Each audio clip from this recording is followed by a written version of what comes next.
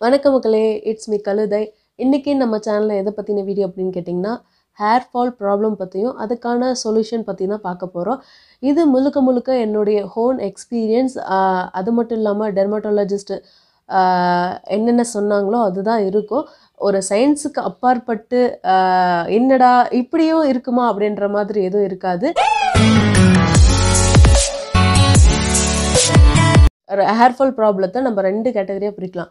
ஒன்று வந்து inner body second வந்து அவுட்டர் பாடி ஓகேங்களா? இன்னர் பாடியில் என்னென்ன இதாகும் அப்படின்ற மாதிரி நம்ம பேச போகிறோம் ப்ளஸ் வந்து அவுட்டர் பாடியில் நம்ம எல்லாம் கேர் பண்ணிக்க போகிறோம் அப்படின்றது தான் ஜென்ரலாக இருக்கிற விஷயத்தை பற்றி நம்ம வந்து ஃபஸ்ட்டு பேசிடலாம். முடி பார்த்திங்கன்னா அது ஒரு டெட் செல்ஸ் நீங்கள் நிறைய கேள்விப்பட்டிருப்பீங்க. ஒரு நாளைக்கு ஃபிஃப்டி டு ஹண்ட்ரட் முடிக்குள்ளே விழுறது ஒரு நார்மலான திங் தான். ஓகேங்களா அது வந்து ரொம்ப எக்ஸாஜரேட் பண்ணுற அளவுக்கு ஒரு பெரிய விஷயம் கிடையாது. ஐயோ இவ்வளோ முடி விழுதா அப்படின்ட்டு. நம்ம அதை எடுத்து கவுண்ட் பண்ணக்கும் மாட்டோம். நார்மலாக நம்ம குளிக்கும் போதும் முடி வரும் ப்ளஸ் வந்து சீவும் போதும் தலை வாரும்போது நம்மளுக்கு நார்மலாக வந்து முடி வருது அது சாதாரண விஷயம் தான். அதுக்காக நீங்கள் வந்து பயப்பட தேவையில்ல. ஐயோ நமக்கு மட்டும்தான் இப்படி கொட்டுதா அப்படின்றத வந்து நீங்கள் அதை வந்து ஃபீல் பண்ண வேண்டிய விஷயம் கிடையாது. ஃபஸ்ட் ஒன் செகண்ட் ஒன் பார்த்தீங்கன்னா ஜெனட்டிக் ப்ராப்ளம் நம்மளுடைய அப்பாவுக்கு தாத்தாவுக்கு யாராவது நம்ம ஃபேமிலி ரிலேட்டட் யாராவது ஒரு பர்சனுக்கு வந்து அப்பாவுக்கோ அம்மாவுக்கோ இல்லை தாத்தா பாட்டி அந்த மாதிரி வகையில் யாருக்காவது பார்ட்னஸ் அதாவது வழுக்க அந்த மாதிரி இருக்குது இல்லை வந்து இந்த மாதிரி ஹேர் ஃபால் ப்ராப்ளம் முடி வந்து கம்மியாக இருக்குது அவங்களோட டென்சிட்டி இப்படி தான் அப்படின்னு இருந்தால் நமக்கும் அது ஒரு சிலருக்கு வந்து இருக்கும். அது வந்து நார்மல் தான். அதுக்கு அதுக்காக நீங்கள் வந்து ஃபீல் பண்ணாதீங்க. நான் ஒரு ஒரு விஷயம் தான் சொல்லுவேன் நம்ம எப்படி இருந்தாலும் நம்ம அழகு தான். அது பாடி ஆகட்டும் ப்ளஸ் ஹேர் ஆகட்டும் ஸ்கின் கலர் ஆகட்டும் எப்படி இருந்தாலும் உங்கள் பாடியை நீங்கள் வந்து அக்செப்ட் பண்ண ஆரம்பிங்க. ஓகேங்களா லவ் பண்ண அக்செப்ட் பண்ணுறத விட அக்செப்ட் பண்ணுறது முக்கியம் இல்லை. அதுக்கப்புறம் வந்து இப்படி தான் அப்படின்னு சலிச்சுட்டு விட்டுறக்கூடாது. நான் ஒரு வழுக்குத்தலை இருந்தால் நான் ஃபீல் பண்ணிட்டு எந்த ஒரு ஃபங்க்ஷனில் கலந்துக்காக ஃபீல் பண்ணிட்டு நம்ம தனியாக ஒதுங்கி இருக்கணும்னு அவசியம் கிடையாது. அதுவும் ஒரு அழகு தான் நம்மளுடைய பெரிய பெரிய ஜீனியஸ் பர்சன்லாம் வழுக்கத்தலையாக தான் இருக்காங்க. அதை வந்து நான் குறையா சொல்ல பட் அந்த மாதிரி ஒரு ஜெனட்டிக் ப்ராப்ளம் இருக்குது உங்களுக்கு வந்து ஜெனட்டிக்காக பார்னஸ் இருக்குது அப்படின்னா அதுக்காக ஃபீல் பண்ணாதீங்க. உங்களுடைய இந்த ஒரு தாழ்வு மனப்பான்மையை யூட்டிலைஸ் பண்ணி உங்களை ஏமாத்துறதுக்கு ஒரு பெரிய கூட்டமே இங்கே அலைஞ்சிட்ருக்கு. இப்போ நாம் யூஸ் பண்ணுற ப்ராடக்ட் எல்லாமே ஒரு காலத்தில் இது நல்லாயிருக்கு அது நல்லா இருக்குன்னு என்ன சொல்கிறது நம்மளை வந்து ஒரு மூல செலவு செஞ்சு நம்மளை யூஸ் பண்ண வச்சாங்க.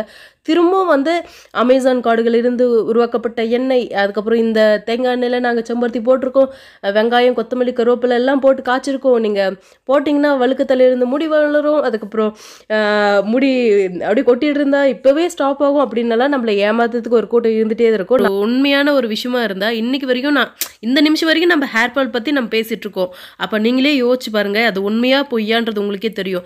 இன்னொரு விஷயம் என்னன்னா இப்போல்லாம் ஆர்கானிக் அப்படின்ற பேர்ல நம்மள வந்து நிறைய ஏமாத்திட்டு இருக்காங்க. நாமளும் அது தெரியாம முட்டாள்தனமா ஆர்கானிக்னு ஒரு விஷயம் சொன்னாவே போதும். அப்படி டக்குன்னு கண்ணை மூடிட்டு வாங்கிடுறோம். நாம் தான் முடிஞ்ச அளவுக்கு அவேர்னஸாக இருக்கணும்.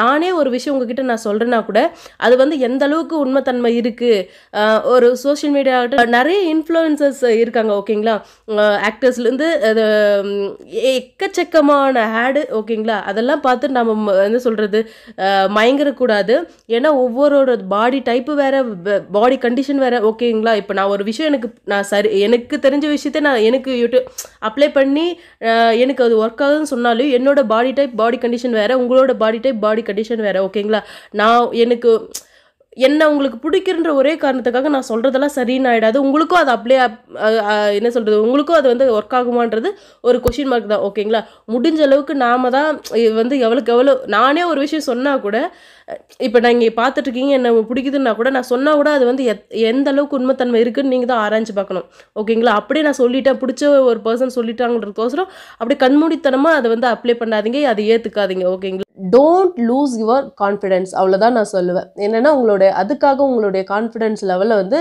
குறைச்சிக்காதீங்க. Be bold be happy and love yourself அப்படின்னு தான் நான் சொல்லுவேன். இதுக்கு நிறைய மாற்று வழிகளாக சயின்டிஃபிக்காக வந்துருச்சு. டிரான்ஸ்பிளான்ட் பண்ணுறாங்க அதெல்லாம் இருக்குது அதெல்லாம் கொஞ்சம் எக்ஸ்பென்சிவான ஒரு விஷயம். அதை நம்ம சாமானிய மக்களுக்கு நம்ம எந்த ஒரு பேராமீட்டரும் வைக்க முடியாது. பியூட்டியை பொறுத்த வரைக்கும். இப்படி இருந்தால் தான் அழகு. நம்ம வந்து சோசியலைஸ் நம்ம சொசைட்டியில் அப்படி வச்சுட்டாங்க. ஒல்லியாக இருக்கிறது அழகு கலராக இருக்கிறது அழகு அப்படின்ற ஒரு கேட்டகரைஸில் வச்சுட்டாங்க. பட் அதை நம்ம வந்து அதை தான் நம்ம மாற்றி அமைக்கணும். நம்மனா சரியான புரிதல் நமக்கு யாரும் இது வரைக்கும் கொடுக்கல. அதுதான் நிதர்சனமான உண்மை. அதனால நாமளாவது அதை வந்து கொஞ்சமாவது சேஞ்ச் பண்ணி ஆகணும் ஓகேங்களா? அப்போ தான் நம்மளுடைய குழந்தைங்களும் சரி நம்மளுடைய பேர குழந்தைங்களும் அடுத்த ஜென்ரேஷன் வந்து என்ன ரியாலிட்டி அப்படின்றத புரிஞ்சுப்பாங்க. செகண்ட் திங் இது.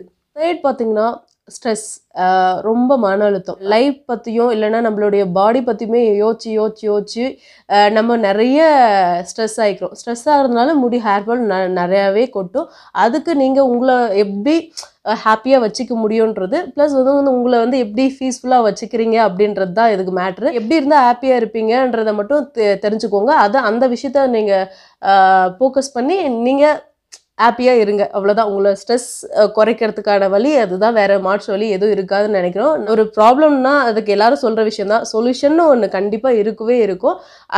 அதை மட்டும் யோசிச்சு உங்களுக்கு எவ்வளோக்கு எவ்வளோ வந்து ஸ்ட்ரெஸ் ஃப்ரீயாக வச்சுக்கிறீங்களோ அவ்வளோக்கு எவ்வளோ நீங்கள் ஹாப்பியாக இருப்பீங்க. ப்ளஸ் வந்து ம், முடி விழுறது மட்டும் கிடையாது. ஏன் எவ்வளோக்கு எவ்வளோ ஹாப்பியாக இருக்கீங்களோ அவ்வளோக்கு அவ்வளோ ஸ்கின்னும் வந்து க்ளோயிங்காக தெரியும். சூப்பராக இருக்கும். பார்க்குறவங்களுக்கு ஒரு ஆக்ஷனாக இருக்கும். சீக்கிரமாக ஏஜ் ஆகுறது கொஞ்சம். அதாவது நான் வந்து நான் வந்து ஏஜிங் லுக்கு தெரியாதுன்னு சொல்கிறதுனால உடனே வந்து ஐம்பது பர்சன்டேஜ் எண்பது பர்சன்டேஜ் அப்படியே வந்து நம்ம வயசாகாமல் நம்ம ஸ்கின்னுக்கு நம்ம உடம்புக்கு ஒரு அந்த தோற்றம் வராதுன்னு சொல்லலை.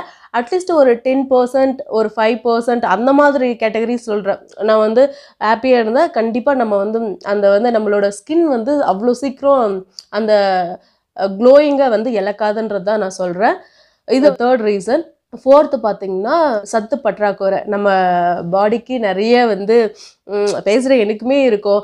ஏன்னா அயன் கண்டென்ட் வந்து கம்மியாக இருக்கலாம். அந்த மாதிரி நியூட்ரிஷன் வந்து உங்கள் உடம்புல வந்து கண்டென்ட் நியூட்ரிஷன் வந்து கம்மியாக இருந்தால் கண்டிப்பாக அதுவுமே உங்களுக்கு ஹேர் ஃபால் ப்ளஸ் வந்து நம்ம ஸ்கின் வந்து டல் ஆகிறது உடம்பே வந்து சொல்கிறது சொங்கி மாதிரி தான் இருக்கும். அதனால் அவுட்டர் பாடிக்கு அவுட்டர் இதுக்கு நம்ம எவ்வளோ ஸ்கின்னுக்கு நம்ம முக்கியத்துவம் கொடுக்குறத விட நம்ம இன்னர் பாடிக்கு நம்ம இன்டேக் நிறைய எடுத்துக்கணும். ஃப்ரூட்ஸ் ஆகட்டும் நல்ல வந்து அயன் கண்டென்ட் உள்ள கீரை பழம் இந்த மாதிரி எடுத்திங்கன்னா உங்களோட ஸ்கின்னும் க்ளோயிங்காக கிடைக்கும். ப்ளஸ் வந்து நம்மளுடைய ஹேர் ஃபாலும் அவ்வளோவா இருக்காது. ஃபிஃப்த் ரீசன் பார்த்தீங்கன்னா இதுவுமே வந்து ஒரு லேடிஸ்க்கெல்லாம் மோஸ்ட்லி இருக்கும். பிசிஓடி ப்ராப்ளம் தைராய்டு இந்த மாதிரி ஹார்மோனல் இம்பேலன்ஸ் ஏதாவது சம்திங் இருந்தால் கண்டிப்பாக உங்கள் வந்து ஹேர் ஃபால் இருக்கும். அதுக்கு என்ன சொல்யூஷனோ நீங்கள் வந்து அதை வந்து டாக்டர் கன்சல்ட் பண்ணி கரெக்டாக கைனகாலஜிஸ்ட்டு போயிட்டு நீங்கள் அதுக்கு என்ன பிசிஓடி இருந்தால் சொல்கிறேன் பிசிஓடி தைராய்டு அந்த மாதிரி ஏதாவது ப்ராப்ளம் இருந்தால் அதுக்காக ட்ரீட்மெண்ட் எடுத்துக்கோங்க. கரெக்டாக அந்த ப்ராப்ளம் சால்வ் பண்ணிட்டீங்கனாவே சில பேருக்கு வந்து பிம்பிள்ஸ் எனக்குமே சம்திங் பிம்பிள்ஸ் நிறையா இருக்கும். ப்ளஸ் வந்து முடி அன்வான்ட் ஹேர்ஸ் எல்லாம் வரும் சில பேருக்கு. சில பேருக்கு முடி வந்து நிறையா வந்து லாஸ் ஆகலாம். அதுக்காக நம்மளுடைய ஹெல்த்தை வந்து நம்ம பத்திரமா பார்த்துக்கணும் நல்ல ஃப்ரூட்ஸு நல்ல வெஜிடபிள்ஸ் கீரை அது இது என்னென்ன இருக்கோ அதெல்லாம் சாப்பிட்டுட்டு கரெக்டான அமௌண்ட்டு சாப்பிட்டு நம்ம நம்ம ஹின்னர் பாடியை வந்து நல்லா மெயின்டைன் பண்ணிங்கனாவே முக்காவாசி ப்ராப்ளம் அதாவது ஹேர் ஃபால் மட்டும் இல்லை உங்களோட ஸ்கின் ப்ராப்ளம் ப்ளஸ் வந்து எந்த ஒரு ப்ராப்ளமே சொல்கிறேன் எந்த ஒரு நோயும் உங்களுக்கு வந்து இன்னர் பாடியை நீங்கள் நல்லா பார்த்துக்கிட்டாவே உங்களுக்கு எந்த ப்ராப்ளம் நோய் நொடி எதுவுமே கிடையாது. இதுதான் நம்மளுடைய இன்னர் பாடி ப்ராப்ளம்ஸ் இந்த ஃபைவ் இதுதான்.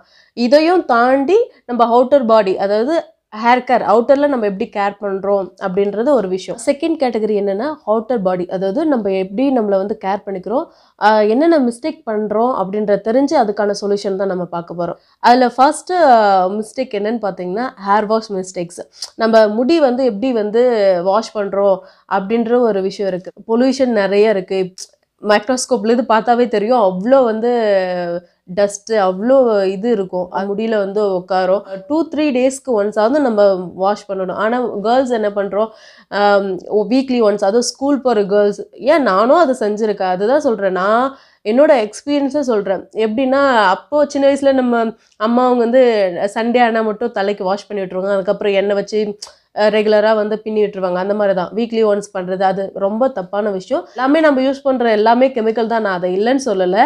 பட் கெமிக்கல் இருந்தாலும் நம்ம அதை எப்படி யூஸ் பண்ணுறோம் அதை எப்படி எரிஞ்சு யூஸ் பண்ணால் நமக்கு அப்படியே தேய்ச்சி அதுக்கப்புறம் தண்ணி ஊற்றி அழைச்சி அழைச்சினிங்கன்னா நீங்கள் வந்து என்ன சொல்லுவோம் நொர அவ்வளோவா வராது. திரும்ப ஒரு அஞ்சாறு ஷாம்பு நம்ம அதிகமாக ஷாம்பு போடுவோம். அதெல்லாம் ஓவர் ஷாம்ப் பண்ணி நம்ம முடி வந்து ரொம்ப ட்ரை பண்ணிவிடுவோம் அப்படி பண்ணக்கூடாது.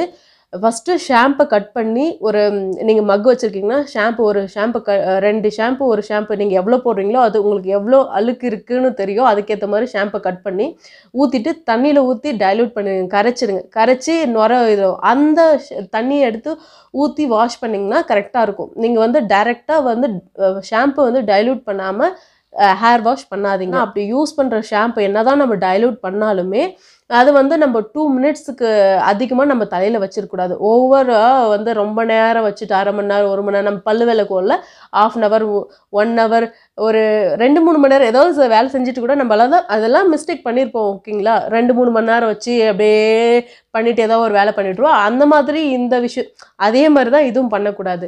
ரெண்டு நிமிஷம் டைலூட் பண்ணாலுமே ரெண்டு நிமிஷத்தில் நல்லா ஸ்கேல்பில் முடியல போட்டு ரஃப் பண்ணக்கூடாது. ஸ்கேல்பில் நல்லா போட்டு ஏன்னா நம்ம ஸ்கேல்பில் தான் வந்து அழு அழுக்கு உட்காரும் டஸ்ட் எல்லாம் உட்காரும் அதை வந்து ரிமூவ் பண்ணணும். அட் நெக்ஸ்ட் விஷயம் பார்த்தீங்கன்னா ஓவர் ஷாம்பிங் பண்ணக்கூடாது. அதிகமாக ஷாம்பு போட்டு போட்டு போட்டு எனக்கு முடி வந்து பளபளன்னு வேணும் ரொம்ப அந்த இது இருக்கு பிசு பிசுன்னு இருக்குது அப்படின்ற மாதிரி நினச்சிட்டு நிறைய நீங்கள் வந்து அள்ளி அள்ளி ஷாம்பு அதிகமாக போடுவீங்க. அந்த மாதிரி ஓவர் ஷாம்பு பண்ணக்கூடாது. விஷயம் என்னன்னு பார்த்தீங்கன்னா நம்ம சினிமாலாம் நிறைய காமிச்சு பழகிட்டாங்க.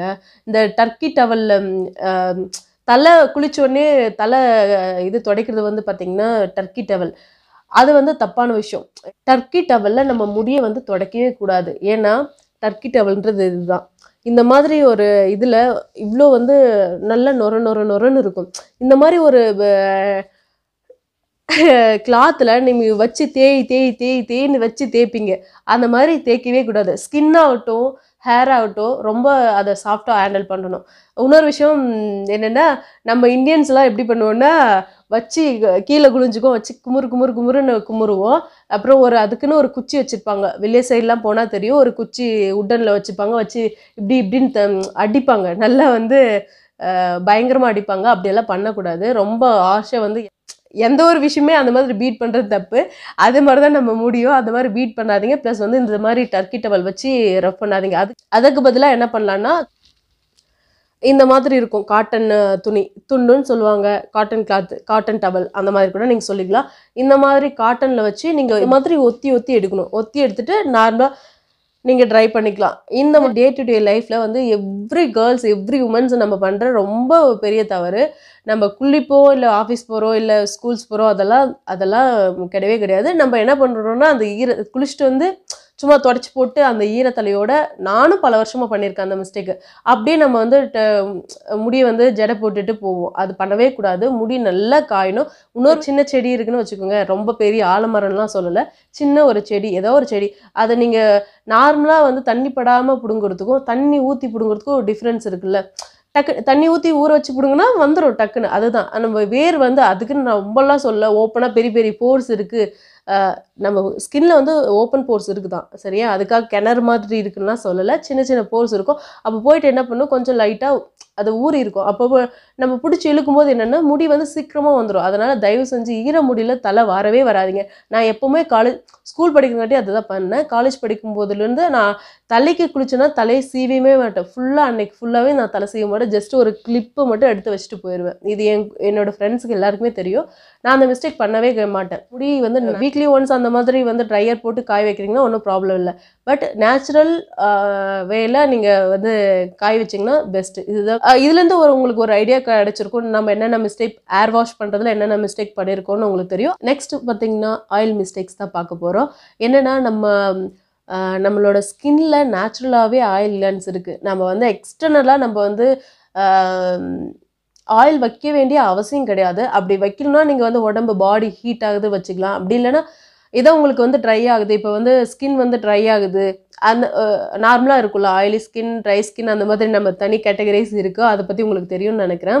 அந்த மாதிரி ரொம்ப ட்ரை பீப்புள் வேணால் நம்மளுக்கு உங்களோட ஆயில் கிளான்ஸில் ஆயில் செக்ரீஷனே இல்லை சுத்தமாக இல்லை அப்படின்ற போது நீங்கள் ஆயில் வச்சுக்கலாம். கண்டிப்பாக வச்சுக்கலாம். நம்மளோட இந்தியன் ட்ரெடிஷ்னல் அப்படின்ற ஒரு இது வந்து ஆயில் வச்சு குளிக்கிறது அப்படின்ற மாதிரி தான் பட் என்ன பண்ணுறோன்னா நம்ம ஆயில் வச்சுட்டு அப்படியே போகிறோம் இப்போ ஒர்க் போகிறோம் இல்லை வெளியில் நம்ம என்ன பண்ணுறோம் தலையில் வந்து எண்ணெய் வச்சு நிறைய எண்ணெய் வச்சு படியே வாரிட்டு போகிறோம் அப்படி ஃபஸ்ட்டெல்லாம் வந்து உங்கள் ஸ்கேல்பில் நல்லா உட்காந்துக்கும் உட்காந்துருக்கப்புறம் என்ன பண்ணும்? நீங்கள் அப்படியே வந்து டூ த்ரீ அதாவது வச்சாலையும் டூ த்ரீ டேஸ்க்கு ஒன்ஸ் நீங்கள் குளிக்க மாட்டீங்க. அது அதுவே ஜாஸ்தி தான். ஏன்னா அதிகமாக வெளியில் போயிட்டு வரீங்கன்னா கண்டிப்பாக நம்ம ஹேர் வாஷ் எப்படி நம்ம டெய்லிக்கும் டெய்லியும் உடம்புக்கு குளிக்கிறோமோ அது மாதிரி தலைக்கும் நம்ம குளிக்கிறது இல்லை கரெக்டுங்களா உங்களுக்கு வந்து டேண்ட்ரஃப் அதிகமாகும். டேண்ட்ரஃப் வந்த உடனே வச்சு கையை வச்சு கீறி கீறி கீறி கீறி தலையெல்லாம் சொருவிங்க. சொரிஞ்சு என்ன பண்ணு? தலை மண்டை புண்ணாகும். ப்ளஸ் வந்து நிறைய நம்ம வந்து ஸ்கேல்பில் இருக்கிற முடி அந்த வேறு இதில் போயிட்டு நல்லா இப்படி சொல்லிட்டே இருந்தாங்கன்னா என்ன பண்ணு ஆட்டோமேட்டிக்காக வந்து ஹேர் ஃபால் ஆக தான் செய்யும். டெய்லி நீங்கள் ஆயில் வைக்கணுமா? கம்பல்சரியா அப்படின்னு கேட்டால் கண்டிப்பாக இல்லைன்னு தான் நான் சொல்லுவேன். நான் மட்டும் இல்லை நான் டெர்மட்டாலஜிஸ்ட் சொல்கிற ஒரு விஷயந்தான் நமக்கு தேவையான ஆயில் வந்து சக்ரேஷன் கண்டிப்பாக நம்ம ஸ்கின்லேயே இருக்குது அதையும் தாண்டி உங்களுக்கு வேணும்னா குளிக்கிறதுக்கு முன்னாடி ஒரு டென் மினிட்ஸ் முன்னாடி இல்லை ஆஃப் அன் ஹவர் பிஃபோர் வச்சிங்கன்னா போதுமானது அப்படின்னு தான் டெர்மட்டாலஜிஸ்ட் சொல்கிறாங்க அதை தான் உங்களுக்கு நான் சொல்கிறேன் இன்னொரு விஷயம் அவங்க சொல்கிறத தாண்டி நான் வந்து எக்ஸ்பீரியன்ஸ் ஏன்னா பண்ணியிருக்கேன் டுவெல்த்து வந்து முடிச்ச பிறந்து நான் வந்து ஆயில் வைக்கிறது விட்டுட்டேன். ஆயில் வைக்கிறது விட்டுட்டேன்னா கரெக்டாக குளிக்க போகிறதுக்கு முன்னாடி ஒரு ஆஃப் அன் ஹவர் ஒரு டென் மினிட்ஸ் முன்னாடி மட்டும்தான் நான் வச்சு தலை குளிச்சிடுவேன். அப்படி சப்போஸ் எண்ணெய் வைக்காத விழுறதா இருந்தால் என் முடி இந்நேரம் எனக்கு சொட்டையாக தான் இருந்திருக்கும். மண்டை வழுக்கியாக தான் இருந்திருக்கும். என் மண்டையில் ஒரு முடி கூட இருந்திருக்காது. இது இதுவும் தான் நான் வந்து ஃபாலோ பண்ணி என்ன எனக்கு நடந்ததுன்னு சொல்கிறேன் ப்ளஸ் வந்து டெர்மட்டாலஜிஸ்ட்டும் அதுதான் சொல்கிறாங்க நான் வந்து ஒரு தப்பான ஒரு தகவலை நான் உங்ககிட்ட பதிவு செய்யலை. நெக்ஸ்ட் பார்த்திங்கன்னா கட்டிங் நீங்கள் நினைக்கிற கட்டிங் கிடையாது. ஹேர் கட்டிங் உடனே நினைக்கலாம். ஐயோ இதெல்லாம் ஒரு காமெடின்ற பேரில் நீ சொல்லலான்னு நினைக்கலாம். புரியுது. பட் என்னென்னா மோஸ்ட்லி வில்லேஜ் சைடு சரி ம கேர்ள்ஸ்க்கு பொதுவாகவே வந்து ஹேர் வந்து கட் பண்ணுறதுக்கு மனசு வராது. பட் uh, இருந்தாலும் இன்னொரு விஷயம் என்னென்னா நீங்கள் வந்து முடி வந்து எண்டில் வந்து நல்லா ஸ்ப்ளிட்டன்ஸ் வரும். ஓகேங்களா? அதை வந்து நீங்கள் அட்லீஸ்ட் நீங்கள் வந்து ஹேர் கட் பண்ணல அப்படின்னா கூட பரவாயில்ல. இந்த ஸ்- அந்த வெடிப்பு இருக்குல்ல கொண்ட முடியில் வெடிப்பு இருக்கும். ஸ்ப்ளிட்டன்ஸ்னு சொல்லுவாங்க. அதை வந்து ட்ரிம் பண்ணி விடுங்க. அட்லீஸ்ட் ஒரு அரைஞ்சுக்காவது ட்ரிம் பண்ணி விடுங்க. உங்களோட முடி பார்க்க வந்து ஹெல்த்தியாக இருக்கும். ப்ளஸ் வந்து நீங்கள் இதே வந்து ஹேர் கட் பண்ணிங்கன்னா இப்போ நார்மலாக வந்து முடி வந்து கொஞ்சம் லீனாக இருக்குது அப்படின்னு நீங்கள் ஃபீல் பண்ணிங்கன்னா உங்களுக்கு வந்து layer cutting step with the layer கட்லாம் பண்ணும்போது உங்களுக்கு நல்ல பவுன்ஸியாக கிடைக்கும் ஓகேங்களா ஒரு சில விஷயத்த நம்ம வந்து இல்யூஷனாக க்ரியேட் பண்ணிக்கலாம். அப்படி பார்க்கும்போது உங்கள் முடி வந்து கொஞ்சம் நேச்சுரலாக அந்த ஸ்ப்ளிட்டன்ஸ் இல்லாமல் கொஞ்சம் எனக்கு வால்யூம் கம்மியாக தான் இருக்குது அப்படின்னு நீங்கள் ஃபீல் பண்ணாலையும் அந்த மாதிரி ஹேர் கட் பண்ணும்போது உங்களுக்கு வந்து நல்ல பவுன்ஸியாக கிடைக்கும். அப்போ பவுன்ஸியாக இருந்தால் என்ன கிடைக்கும்? உங்களுக்கு நல்ல ஒரு ஹேர் இருக்குது அப்படின்ற மாதிரி தான் தோணும். இது ஒரு பார்த்திங்கன்னா ஹேர் ஸ்டைலிங் நம்ம வந்து எல்லாருமே சொல்கிறது நல்லா பார்க்க வந்து நல்லா தெரியணும். பர்சனாலிட்டி நல்லா இருக்கணும்னு நினைப்போம். கண்டிப்பாக அது நேச்சுரலாக இருக்க வேண்டிய விஷயம் தான் ஏன்னா நம்ம மேக்கப்ன்றது நார்மலாக ஒரு சில பேர் நினச்சிருக்காங்க. மே மேக்கப்ன்றது ஜஸ்ட்டு லிப்ஸ்டிக்கும் ஐடெக்ஸும் போடுறது மட்டும் மேக்கப் கிடையாது. இன்னொரு விஷயம் மேக்கப்ன்றது லேடிஸ்க்கு மட்டும் கேட்டகரைஸ் பண்ணிட்டாங்க. இல்லை மேக்கப்னாவே லேடிஸ் தான். அப்படி கிடையாது. மேக் மேக்கப்ன்றது மேக் அப் அது இக்கோட நம்ம வந்து எப்படி நம்மளை வந்து என்ஹான்ஸ் பண்ணி காட்டுறோம். அதுதான் மேக்கப் அப்படின்னு பார்த்தா ஆனால் வந்து அது இந்த மேக்கப்ன்றது ஒரு வார்த்தை வந்து லேடிஸ்க்கு மட்டும் அப்படின்றது அப்படியே வகுத்துட்டாங்க. அது கிடையாது. பசங்களும் தான் மேக்கப் பண்ணுறாங்க ஏன்னா இக்கிறதோட மேக்கப் பண்ணுனா இலை தலையிலேருந்து நம்ம வந்திருக்க மாட்டோம். நம்ம பரிணாம வளர்ச்சி இப்போ அடைஞ்சதுலேருந்து நம்மளை ஒவ்வொரு டைமும் நம்மளை இருக்கிறதோட மேக் அப் தான் பண்ணிக்கிறோம். அதுதான் மேக்கப்னு என்னை பொறுத்த வரைக்கும் நான் நினைக்கிறேன். ஏன்னா அப்படி மேக்கப் பசங்க வந்து மோஸ்ட்லி சொல்லுவாங்க இது பாடுற மேக்கப் லேடிஸை மோஸ்ட்லி வந்து அவங்க கிண்டல் பண்ணுவாங்க. அது நார்மலான விஷயம். எல்லாருக்கும் தெரிஞ்ச விஷயம் தான் பட் அது ப அவங்களும் தான் மேக் பண்ணிக்கிறாங்க. தன்னை வந்து இக்கிறத விட அப்படின்னு பார்த்தா அவங்க வந்து அதே பட்டை இலத்தலை தான் கட்டியிருக்கணும். இப்போ பேண்ட் ஷர்ட் போடுறாங்கன்னா அப்போ அவங்கள வந்து மேக் அப் பண்ணிக்கிறாங்கன்னு தான் அர்த்தம். அதுதான் மேக்கப்பு இந்த ஜஸ்ட்டு இந்த லிப்ஸ்டிக் போடுறதுனாலையோ இந்த ஐடெக்ஸ் போடுறதுனால இது வந்து மேக்கப் கிடையாது. அதை வந்து தெளிவாக புரிஞ்சுக்கோங்க. என்னென்னா மேக்கப்புன்ற ஒரு விஷயம் இ- நம்மளை வந்து எவ்- எவ்வளோ எவ்வளோ நம்மளோட பர்சனாலிட்டி இம் இம்ப்ரூவ் பண்ணுறோம் நம்மளை எப்படி வந்து நல்லா ப்ரெசென்ட் பண்ணுறோம் இந்த சொசைட்டி முன்னாடி அதர் பர்சன் கூட வியர்டாக இருக்கும்போது நான் போயிட்டு குளிக்காமல் செய்யாமல் பல்லு விளக்காமல் எப்படி சொல்கிறது தூங்கி எழுந்தோடனே போயிட்டு அப்படியே நிற்க முடியாதுல்ல? ஓ வியர்டாக இருக்கும் பார்க்கும்போது. இது என்னடா இப்படி இருக்குது அப்படின்ற மாதிரி ஒரு சீன்ற ஒரு எண்ணத்தை வந்து க்ரியேட் பண்ணாத கிரியேட் பண்ணாமல் இருக்கிறது தான் நம்ம இவ்வளோ வரைக்கும் வந்து டெவலப் பண்ணிக்கிறோம். அதாவது அப்போ வந்து எப்படி நார்மலாக வந்து ட்ரெஸ்ஸு போடாமல் இருந்து நம்ம எப்படி இலத்தில் கண்டுபிடிச்சி போடுறோங்களோ அது ஒரு மேக்கப் இருக்கிறதோட நம்மளை மேக் பண்ணிக்கிறோம். அதுக்கப்புறம் இப்போ டெக்னாலஜி இம்ப்ரூவைஸ் பண்ண பண்ண சயின்டிஃபிக் சயின்ஸும் நம்ம வளர வளர வளர நம்ம நம்மளை வந்து இன்னும் இன்னும் எப்படி வந்து நம்மளை என்ஹான்ஸ் பண்ணி காட்டுறோம் நம்மளோட பர்சனாலிட்டி எப்படி வந்து நல்லா அழகாக காட்டுறோம் அப்படின்றது தான் மேட்ரு அதுதான் மேக்கப் அதுதான். சரி ஓகே இப்போ எதுக்கு நம்ம அதெல்லாம் போனோம்? இப்போ ஹேர் ஸ்டைலிங் வருவோம் ஹேர் ஸ்டைல் வந்து எப்பவுமே நம்ம போனிடெயிலாம் போடுவோம். நான் மோஸ்ட்லி போனிடெயில் தான் போடுவேன். ரொம்ப டைட்டாக எடுத்து நம்ம டைட்டாக இறுக்கமாக இழுத்து போட்டிங்கன்னா நம்மளுக்கு சம்டைம்ஸ் கேர்ள்ஸ் ஃபீல் பண்ணிப்பீங்க. ஃபோனிட்டெல்லாம் போடும்போது ஏன்னா எனக்கு ரொம்ப வலிக்கும். நான் நிறைய போனிடெயில் தான் போனி போட்டுட்ருக்கேன். ரொம்ப டைட்டாக இழுத்து வந்து ஹேர் ஸ்டைல் பண்ணும்போது டைப் பண்ணும்போது ஹேர் ஃபால் ஆகிறதுக்கும் வாய்ப்பு இருக்குது. நெக்ஸ்ட் ஒரு விஷயம் என்னன்னு இப்போ நான் வீடியோக்காக நான் கேர்ள் பண்ணுறேன் இந்த மாதிரி நீங்கள் சப்போஸ் கேர்லி ஹேர்ஸ் கேர்ள்ஸாக இருந்தீங்கன்னா ஸ்ட்ரெயிட் பண்ணுவீங்க அதே இந்த ப்ளூ டை பண்ணுவோம் முடி ஆகிறதுக்காக நான் தான் சொல்கிறேன் கரெக்டாக ஹீட் ப்ரொடெக்டர் யூஸ் பண்ணுங்கள் அந்த மாதிரி ஹீட் ரெசிஸ்டன்ஸ் uh, இருக்கிற அந்த டூல்ஸ் எல்லாம் ஸ்ட்ரெயிட்னிங் மிஷின் கேர்லிங் மிஷின் இதெல்லாமே கொஞ்சம் அவாய்ட் பண்ணிக்கோங்க. இந்த மாதிரி வீடியோ போ நான் இப்போ வீடியோக்காக கண்டிப்பாக நான் ஸ்ட்ரைட் பண்ணி தான் ஆகணும். அதுக்காக பண்ணுறேன் அதுக்கப்புறம் நான் எப்படி uh, கேர் பண்ணிக்கிறோன்ற ஒரு விஷயம் இருக்குது அந்த மாதிரி பண்ணிங்கன்னா கூட அது ரெ கம்பல்சரி ரெகுலராக வச்சுக்கோதீங்க. ஏதாவது ஃபங்க்ஷன் இல்லை ஏதாவது எப்பயாவது அக்கேஷனலாக பண்ணுறீங்கன்னா கண்டிப்பாக பண்ணிக்கோங்க. அதுக்கப்புறம் நீங்கள் அதை வந்து ஆயில் வச்சு தலைக்கு இதுன்றதோ சரி அந்த மாதிரி இல்லை நீங்கள் வந்து கண்டிஷனர் ஷீரம் அந்த மாதிரி ஏதாவது போடுறீங்கனாலும் ஓகே நீங்கள் ட்ரெடிஷ்னல் வேல போனாலும் சரி கெமிக்கல் வைஸ் போனாலே கெமிக்கல் இல்லாமல் இது முடியாது. அந்த மாதிரி எந்த மெத்தடில் யூஸ் பண்ணாலும் அதை எப்படி நல்லா கேர் பண்ணிக்கோங்க. தூங்கும்போது முடியை வந்து டைப் பண்ணிக்கோங்க. நெக்ஸ்ட் பார்த்தீங்கன்னா கோம் சீப்பு. என்னடா சீப்பெல்லாம் ஒரு மேட்டர் அப்படின்னா எஸ் சீப்பு மிகப்பெரிய மேட்டர் என்னென்னா முடி சீவும் போது ரொம்ப பல்லு சின்ன சின்னதாக இருக்கிறத வந்து அவாய்ட் பண்ணிக்கோங்க. முடி சிக்கு ஏன்னா நார்மலாக வந்து சிக்கு உடைக்கும் போது குட்டி குட்டி நெருக்கு நெருக்கமாக பல்லு இருக்க சீப்பில் உடைச்சிங்கன்னா நிறைய ஹேர் ஃபால் உங்களுக்கு கண்டிப்பாக வரும். பிடிச்சி இழுப்போம் டைட்டாக பிடிச்சி அந்த கானில் பிடிச்சி இழுத்து முடியை பிடிச்சிட்டு ஐயோயோ என்னோட முடி கொட்டிடுச்சு அப்படின்றதெல்லாம் ஃபீல் பண்ணுவோம். அந்த மாதிரி பண்ணாதீங்க. முடி பல்லு கோம் அதாவது சீப்பு யூஸ் பண்ணும்போது பெரிய பல்லு சீப்பாக யூஸ் பண்ணிக்கோங்க. நான் இந்த மிஸ்டேக் நிறைய டைம் பண்ணியிருக்கேன் நிறைய நாள் பண்ணியிருக்கேன் எனக்கு தெரியாது. தெரிஞ்ச வரைக்கும் அதை வந்து மாற்றிக்கிட்டேன் பெரிய பல்லு சீப்பு வச்சு இதுனிங்கன்னா டக்குன்னு முடி வந்து சிக்கு எடுத்துடலாம். இன்னொரு விஷயம் என்னென்னா சிக்கு எடுக்கும்போது இங்கேருந்து வராமல் கீழேருந்து போ இது நிறைய பேர் சொல்லி கேள்விப்பட்டிருப்பீங்க. ஏன்னா கீழேருந்து உடச்சிட்டு போனீங்கன்னா உங்களுக்கு கொஞ்சம் ஈஸியாக இருக்கும். மேலேருந்து ஏன்னா மேலே மேலேருந்து ஸ்டார்ட் பண்ணுமோ சிக்கு ஏன்னா இங்கேருந்து பிடிச்சி இழுத்துட்டு வந்தோம்னா இங்கே வந்து லாக் ஆகும். அப்போ திரும்ப அப்படியே பிடிச்சி இழுப்போம். அது வந்து உங்களுக்கு கஷ்டமாக இருக்கும். பட் கீழேருந்து போகும்போது கீழே இருக்கிற முடி வந்து சிக்கு எடுத்துருவோம். அதுக்கப்புறம் மேலே கொஞ்சம் கொஞ்சமாக கொஞ்சம் கொஞ்சமாக சிக்கு எடுத்துகிட்டு போகிறோம் எல்லாம் எடுத்துகிட்டு வந்து ஒரே இடத்துல விடுறதோட கொஞ்சம் கொஞ்சமாக எடுத்து அப்படியே டீடாங்கிள் பண்ணிட்டு போயிடுவோம். இந்த மாதிரி டீடாங்கிள் பண்ணும்போது கீழேருந்து பண்ணுங்கள் மேலேருந்து பண்ணாதீங்க. இன்னும் சீப்பு வந்து ஒருத்தர் யூஸ் பண்ணுறது இன்னொரு என்னதான் வந்து ஹஸ்பண்ட் அண்ட் ஒய்ஃப் எங்களுக்குள்ள அந்நியோன்யமாக இருக்கேன். ஆஹ் எல்லாம் நம்ம ஒரே ஃபேமிலி அப்படின்னு இருந்தால் கூட சீப் சீப்பு வந்து மாற்றி யூஸ் பண்ணாதீங்க. ஏன்னா உங்களுக்கு சப்போஸ் எனக்கு டேண்ட்ரஃப் இருந்தால் இப்போ என்னோட ஹஸ்பண்ட்க்கோ இல்லை என்னோட ஃபேமிலியில் என்னோட குழந்தைக்கு நான் அதை இப்போ நான் யூஸ் பண்ணும்போது என்னோட குழந்தைக்கும் டேண்ட்ரஃப் வரத்துக்கும் வாய்ப்பு இருக்குது ஓகேங்களா அதனால் சீப்பு ஒருத்தர் யூஸ் பண்ணுறதை யூஸ் பண்ணாதீங்க. சீப் அப்படி யூஸ் பண்ணாலுமே டூ டேஸ்க்கு ஒன்ஸ் வாஷ் பண்ணிவிடுங்க அழுக்காயிடுச்சுன்னா உடனே.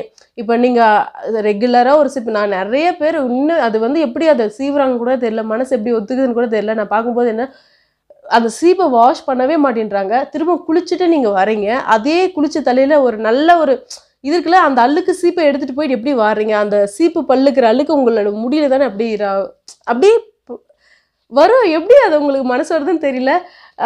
என்ன சொல்கிறது நான் டூ டேஸ் ஒன்ஸ் கம்பல்சரி நான் வந்து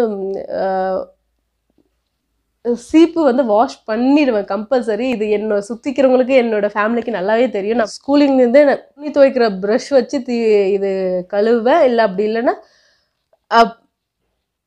ப்ரஷ்ஷு டூத் ப்ரஷ் வச்சு நம்ம வந்து க்ளீன் பண்ணால் நல்லா ஈஸியாக வந்துடும் மோஸ்ட்லி அவ்வளோ பொறுமை இல்லைன்னா நீங்கள் துணி துவைக்கிறதுனால ஷார்ப்பாக இருக்கும். அதை வச்சு நல்லா தேய்ச்சிங்கன்னா நல்லா அது இடுக்குலாம் நல்லா அழுக்கு வந்துடும் சித்தப்பட்டு போய் என்னோட தம்பி எப்போவுமே திருடி திட்டு நான் யாருக்கும் கொடுக்க மாட்டேன் என்னோட சீப்பை. பட் அவன் வந்து சண்டை போட்டு வந்து என்னோட சீப்பை வந்து எடுத்து வா சீவுவா பர்சனாக இருந்தால் ஒரே ஃபேமிலி இருந்தாலையும் சீப்பை வந்து எப்போவுமே சேஞ்ச் ப மாற்றி யூஸ் பண்ணாதீங்க. ப்ளஸ் வந்து அழுக்கு சீப்பை யூஸ் பண்ணாதீங்க. இதுதான் நான் சொல்லுவேன். இதுதான் இப்போ நான் உங்களுக்கு சொன்ன விஷயமெல்லாம் கண்டிப்பாக வந்து கரெக்டான விஷயம் தான் நான் சொல்லியிருக்கேன். தப்பான ஏதோ இல்லாத ஒரு விஷயத்த சொல்ல ஓனாக எக்ஸ்பீரியன்ஸ் பண்ண விஷயம். ப்ளஸ் வந்து டாக்டர்ஸ் சொன்ன விஷயம் தான் நான் சொல்லியிருக்கேன். இது வந்து சயின்ஸுக்கு புறம்பாக நான் எதுவும் சொல்லலை. யோசிச்சு பாருங்கள் நான் வந்து சொன்னது தப்பா இல்லையா? இல்லை நீங்கள் என்னென்ன மிஸ்டேக் இதில் பண்ணியிருக்கீங்க அப்படின்ட்டு அதுலேருந்து நீங்கள் எப்படி வந்து அதை மாற்றிக்கலாம் அப்படின்றத வந்து மாற்றிங்கன்னா கண்டிப்பாக அட்லீஸ்ட் நான் சொன்னதில் ஃபிஃப்டி நான் ஹண்ட்ரட் பர்சன்ட் சொல்ல ஃபிஃப்டி பர்சன்டேஜாவது உங்களுக்கு வந்து மாற்றம் நல்லா தெரியும்னு நினைக்கிறேன். இந்த மாதிரி யூஸ்ஃபுல்லாக skin care hair care makeup இந்த மாதிரி ரிலேட்டடான உங்களுக்கு வீடியோஸ் என்ன மறக்காமல் நம்ம சேனலை சப்ஸ்கிரைப் பண்ணிக்கோங்க. சப்ஸ்கிரைப் பண்ணுறது மட்டும் இல்லாமல் அந்த பெல் பட்டனை டச் பண்ணி ஆலில் கிளிக் பண்ணி வச்சுக்கோங்க. அப்போ தான் நான் வீடியோஸ் போடும்போது ரெயிண்டமாக உங்களுக்கு இன்டிமேஷன் வரும். ஒன்ஸ் அகேன் தேங்க்யூ இட்ஸ் மி கழுதை தேங்க்யூ தேங்க்யூ தேங்க்யூ